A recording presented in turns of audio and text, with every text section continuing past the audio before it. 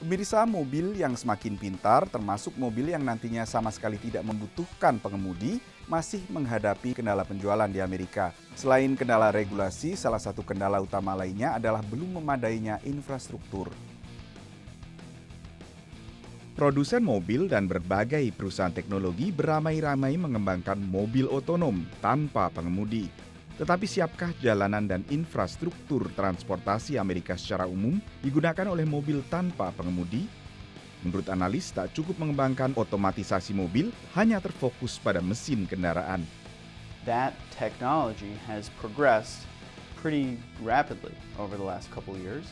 Um, but on the other hand, that does not work very well when it's raining or it's snowing or the road has water on it or any kind of precipitation, um, or if road markings are either not very well marked or they're falling apart or anything like that.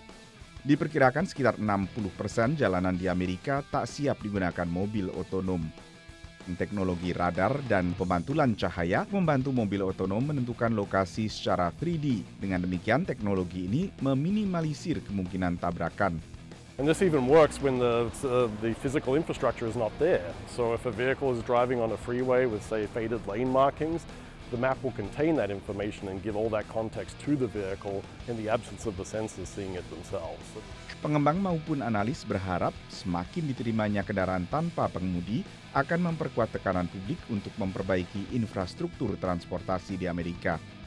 Salah satu contoh sukses modernisasi infrastruktur adalah Jepang Produsen otomotif Nissan misalnya mencatat bahwa selama 2015 ada sekitar 40-an ribu pusat charging listrik mobil di sana, melebihi jumlah pom bensin konvensional. Dari Washington DC, saya Nova Purwadi, VOA.